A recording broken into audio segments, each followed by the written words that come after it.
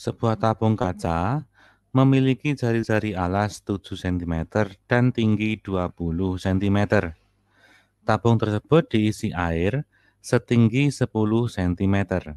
Kemudian, sebuah benda bermasa 616 gram dicelupkan ke dalam tabung kaca berisi air sehingga ketinggian air naik menjadi 12 cm. Nah ini ya, Semula tinggi airnya 10 cm, kemudian setelah dicelupkan sebuah benda ya dengan massa 616 gram, ternyata airnya naik menjadi 12 cm. Yang ditanyakan, berapakah volume dari benda tersebut? Nah, untuk menghitung volume benda, ya, volume benda. Volume benda nanti volumenya akan sama dengan volume dari kenaikan air.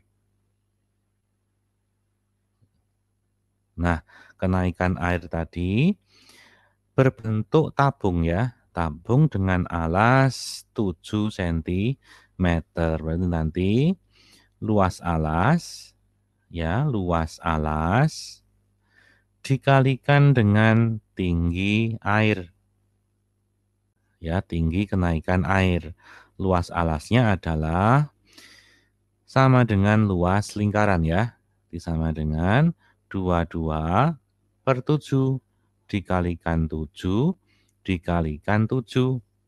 Ketinggian airnya tadi naik sebesar 2 cm ya.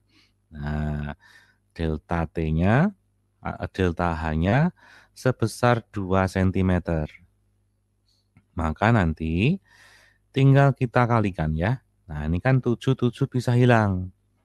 22 kali 7, 154. 154 kali 2 berarti 308.